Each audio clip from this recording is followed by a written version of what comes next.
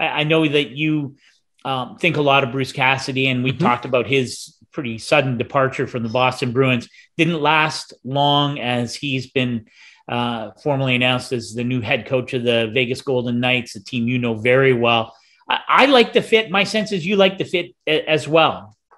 I do. I tweeted it yesterday. I think he, Bruce Cassidy's a great fit for Vegas eh, for several reasons. I mean, it's not just his pedigree as a winning coach, it's more so that, you know, this is a team that's mature. It's an older team. They have plenty of star power, plenty of highly played, paid players that have, frankly, been there and done that. When you think of Martinez, who's won Stanley Cups, and Pietrangelo, has been a captain for a cup winning team, Mark Stone, hopefully his back's healthy, all those things.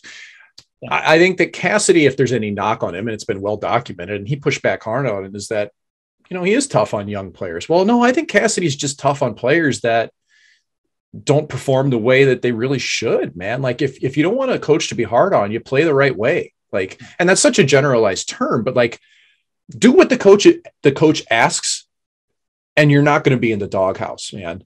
Like work hard. And that's what he's demanded. So in some ways, I think that Cassidy, by the end of that tenure in Boston, it just you could sense it kind of was a diver- diverging path. He didn't have the horses to make it work anymore, man. They should still play defensively because Cassidy's a systems first guy that demands a lot. You have to play hard.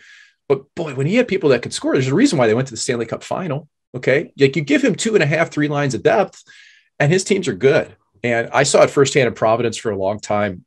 The teams are good every single year.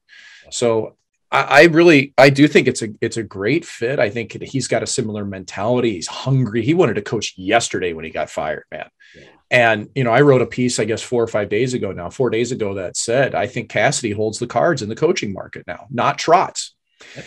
And boy, I, I kind of had to take a victory lap yesterday in, in that my, I love it when a prediction comes true because I thought that because Cassidy's so hungry to coach, immediately and prove everybody wrong and prove Boston that he shouldn't have been the fall guy there, which I think I do think is ridiculous that he was the fall guy. Um, I knew he was going to take a job quick. Yeah. And as soon as I found out Vegas was in the mix, I'm like, man, I, I think this is a really this is a strong fit. I didn't think Trotz like somebody asked me yesterday, why not Trotz? Well, who says Trotz wanted the gig in Vegas in the first place? Just because there was a call or a Zoom call or anything, that's yeah doesn't mean somebody wants it or it's the right fit. I heard that was doubtful from the get go. So I think Vegas gets a coach who fits their mindset, yeah. um, who can also, you know, bring in some more structure. Vegas wasn't as good defensively as they needed to be this year under DeBoer. Um, and, and I think it's going to set everything in motion.